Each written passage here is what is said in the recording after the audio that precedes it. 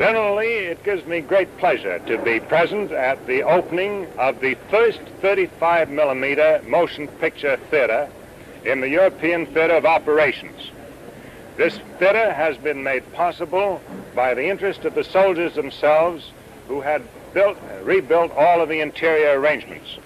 And the supply of made possible by the generous cooperation of the American film industry and the British film industry who are supplying the American soldier overseas with 35 millimeter film showing the latest pictures from Hollywood. We're very glad to have it, General.